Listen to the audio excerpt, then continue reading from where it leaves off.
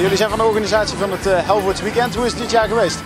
Uh, ja, het is uh, goed verlopen. We hadden eigenlijk wel meer bezoekers verwacht. Dus daar viel een klein beetje tegen. Maar we moeten zeggen dat degenen die er waren het allemaal erg naar hun zin hadden. En ja, de sfeer was goed, artiesten waren leuk. En we hebben gewoon drie dagen feest gehad, dus dat is top. Ja, hoe kun je iets vertellen over de geschiedenis van het Helvoorts Weekend? dit jaar is het 36e Helvoorts Weekend.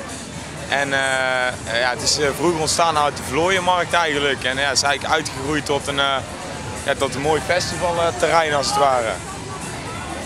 Ja. Ja, nou denk ik dat jullie het zo niet met z'n tweeën organiseren. Nee, we zijn in totaal met negen mensen in de werkgroep die echt door het hele jaar heen het organiseren en het regelen. Daarnaast zijn we een grote werkgroep van ongeveer 20 man met ieder zijn eigen divisies van bar tot ordendienst en waterploeg, elektra, nou, noem maar op, alles wat erbij komt kijken. En in het weekend zelf draaien we met zo'n 400 eh, tot 500 vrijwilligers die uh, ja, ons vier dagen lang helpen om uh, alles mee in goede banen te leiden.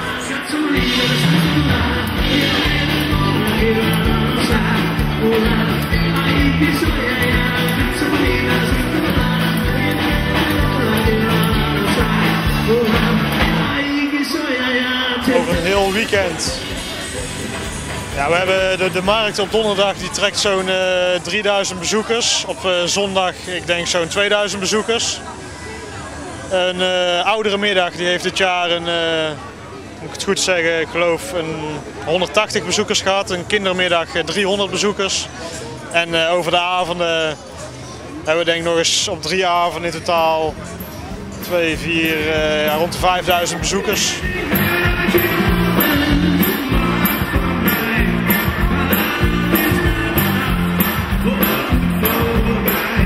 Nou is het over het weekend niet alleen de feestavonden, het is meer als eh, de feestavonden, de kermis. Ja, ja, tuurlijk. Het is eigenlijk alles eromheen. Hè. Het is uh, de, de, kermis die, die er altijd bij staat. Ja, je hebt ja, gewoon de gezelligheid die er hangt en alles. Ja, het is gewoon ja, prima sfeer. sfeer.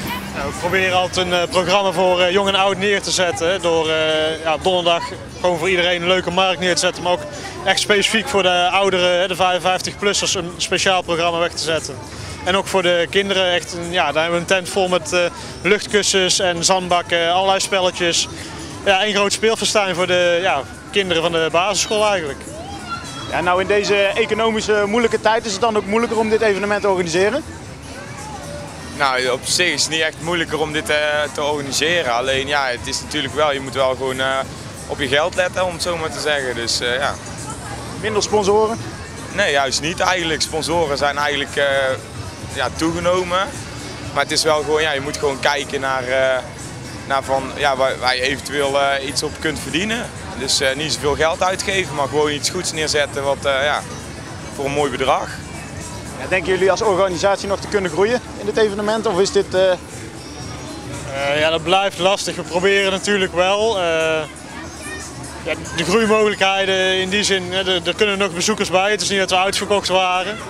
Dus daar, daar, daar proberen we natuurlijk ieder jaar te verbeteren en te kijken wat, uh, ja, wat vindt het publiek leuk.